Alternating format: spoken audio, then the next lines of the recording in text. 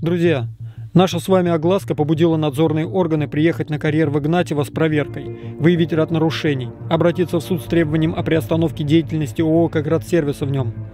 Но уже после отъезда инспекторов, которые просто выявили нарушение технологии так называемой рекультивации, карьерщики стали тупо валить мусор в болото, на землю, без сортировки, измельчения, гашения и всего прочего, чего они сами напридумывали, чтобы добиться официального разрешения засыпать карьер отходами. Нужно продолжать трубить об этом беспределе и требовать полного запрещения такой губительной для экологии деятельности. В этот карьер они хотят свалить более 3,5 миллиона тонн отходов. И на нем они явно не остановятся, а будут использовать эту так называемую технологию рекультивации карьеров с помощью отходов по всей стране. Прошу продолжать делиться моими материалами об этом. Вместе мы обязательно победим.